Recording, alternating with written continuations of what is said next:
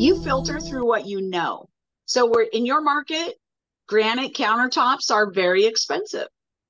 But in the other markets in the South, it's actually dirt cheap. Mm. And so you can put some high level finishes on things. You can do some industrial looks, create some very cool features at a much lower cost. We can get, we're using solid wood cabinets as opposed to MDF because, again, what we have access to. So it's finding a way to keep the price down cost wise, but it's also structural engineering it.